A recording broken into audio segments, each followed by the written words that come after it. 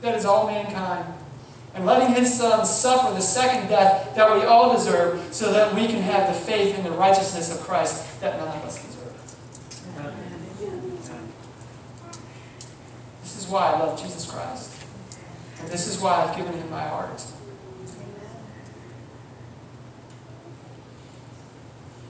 We conclude, we look at the faith of Jesus. The faith of Jesus is a saving faith. Amen. Philippians chapter 2, verses 5 through 8. Turn there with me. Philippians chapter 2, verses 5 through 8.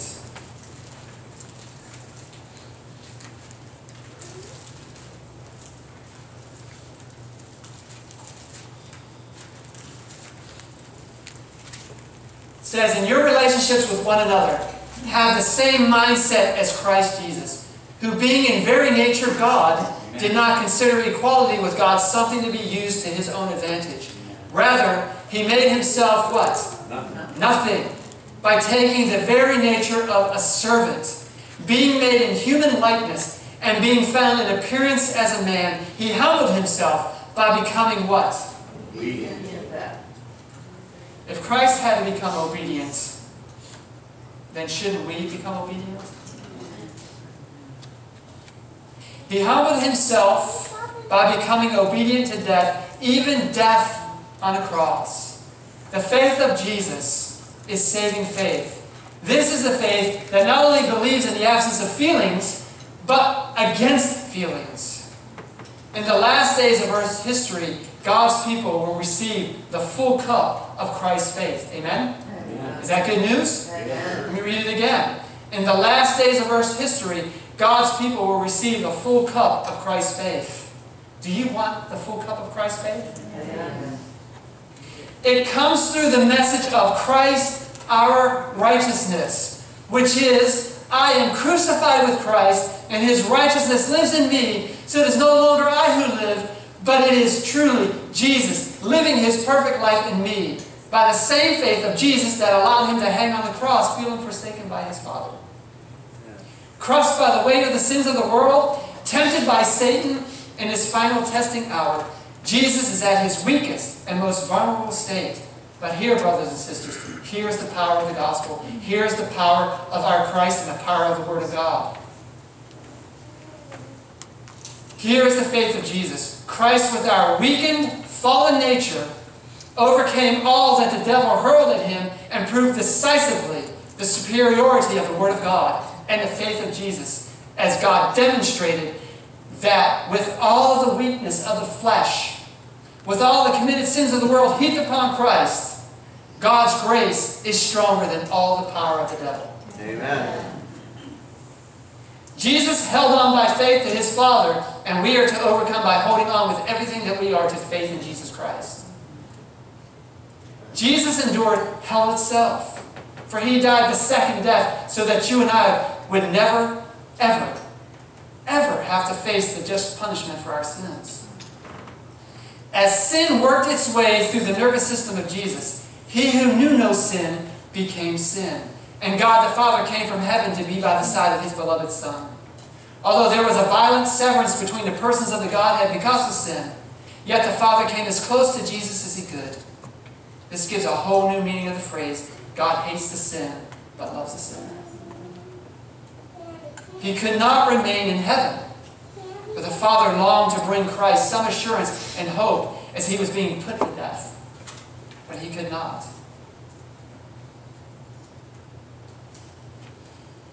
He could only look on in horror. But he could not help the man who was his fellow companion from eternal ages. In your mind's eye, picture the father standing next to his suffering son, trembling and weeping, longing to comfort him. God put his own omnipotence under restraint as he refrained from breaking through the darkness to deliver his agonizing son.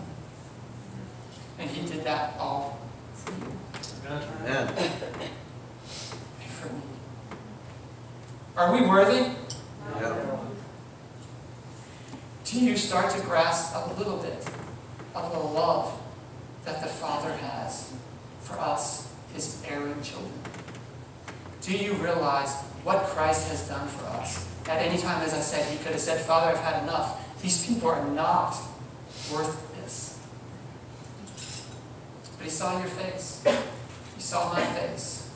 And he was able to say, I would rather be separated from my Father throughout all eternity than to see you separated from your God, your Creator.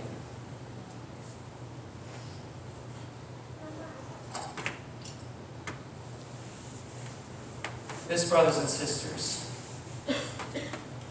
wrong sorry. This is Christ our Savior, hanging on the cross, taking the penalties for your sin and my sin. But does the story end there? That's right. Because Christ our Savior has now become Christ our righteousness. What is this picture of Jesus in this picture of? Our high priest, right? Isn't that what the book of Hebrews is all about? Jesus is our high priest and he's ministering in the heavenly sanctuary. Where in the heavenly sanctuary? For what purpose? What purpose is he in the most holy place? Blotting out of sin. What's that, RJ? Blotting out of sin. Right? Christ came to take away our sin. Now, does that mean that he's going to wave a magic wand over you and poof, you're going to be perfect? All your sins will be gone? Does it mean that you can continue to sin because he's already paid for it so it doesn't matter what you do? Understand what Christ has done for you. Understand the power that's in the gospel of Jesus Christ. The good news of salvation.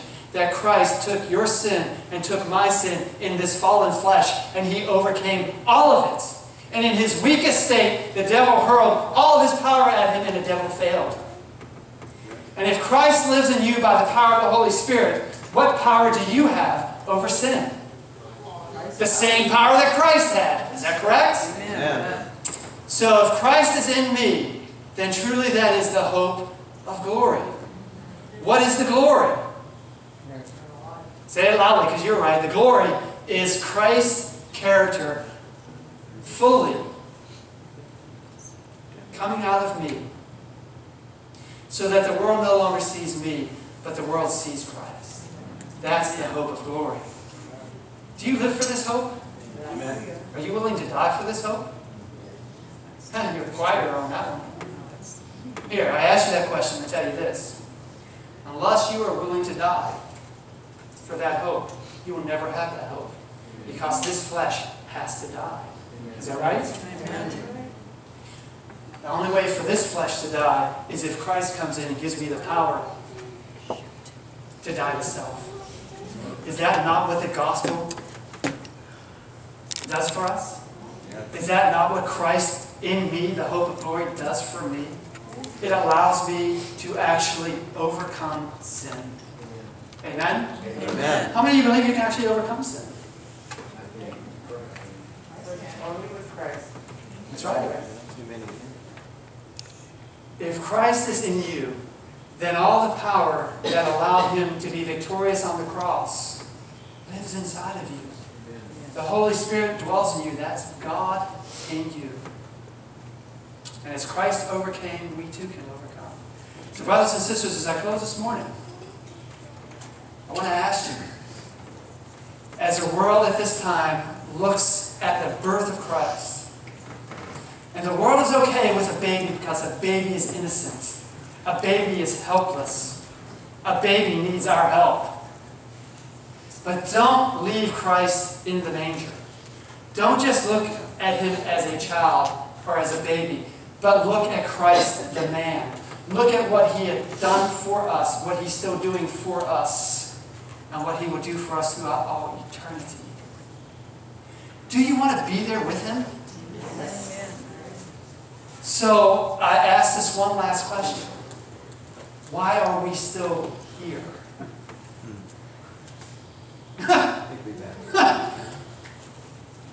Do you have an answer in your head for that question? Because that is a valid question. And that question will continue to be asked and continue to be asked until we actually have an answer Christ and submit to Christ and allow Him to do the work that He's wanted to do for millennia. Why are we still here? Well, you answer that yourself. Do you want to be with Christ? Do you want to be able to go home? Would you be willing to stand this morning and say to Christ, Lord, I have sinned. I have fallen so short. I have read your word. I have professed your word. But yet in my heart there's still unbelief. Are you willing to stand for that? Are you willing to acknowledge that this is our condition? But it doesn't have to be our condition. Listen, this morning as I have closing prayer, I do not want to leave here unless I know that you fully understand what was done for you on the cross, that you fully glimpse the love that God has for you, and that you're able to take that love, let it burn in your hearts, and share it with those that you meet when you leave here today for the rest of the week. But more than that, I want you to understand why God raised this church up. Why there are such a thing as Seventh day Adventists. That we're not just one of a thousand different denominations. That God has given us a unique message to share. That God has given us light and wisdom that no other church has. And what I want you to do this morning is to recommit yourself to the truths that are found in Scripture and the spirit of prophecy. And the truths that God raised this church up to share with the world. Are you willing to do that? Let us bow our heads. Heavenly Father, I thank you so much for your Son, Jesus Christ. For Father, I understand in my own life how sin separates me from you. But I'm also grasping what it cost you and Jesus and the Holy Spirit to pay for my sin. So Father, what we do is we come here this morning and we want to recommit our lives to you. And we want to recommit ourselves to the message that you have entrusted us with to give to this world. Father, we say we want to go home. We say we want to be with you. But yet we're still here. So what that tells me is that, Lord, there's still something within us that is fighting against you. Father, my prayer this morning is that you will help us to submit and humble ourselves, to be obedient to Jesus Christ, the truths that are contained in your word. Father, help us to be that generation who is willing to trust you fully and completely to allow you to give us victory over sin. Father, it can be done. Your word has promised it. And I know in my heart that everything you have promised me, you've done. Father, bless us with your spirit, bless us with your strength, and bless us with the ability and the power through the Holy Spirit to take this message to a dying world. For this I ask and pray in Jesus' name. And everybody said? Amen. Amen. Our closing hymn this morning is hymn number 125.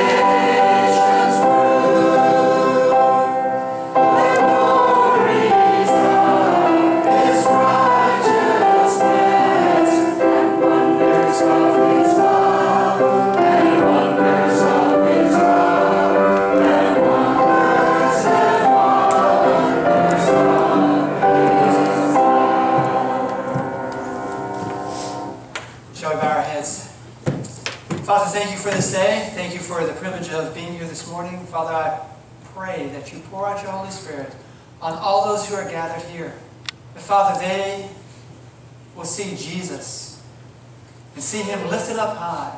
And they will understand in the depths of their being the love that you have poured out upon us. Father, I ask that as we leave here, that you will empower us to be witnesses for you to those who we come in contact with. But Father, I also pray, pray from the bottom of my heart, that you will help us as your people to understand who we are, what we've been called for, who we are as Adventists, and the mission that you've given us. Father, I pray that you help us to submit to you and allow you to do this work of transformation in us. For this we ask and pray in Jesus' name. Amen. Amen.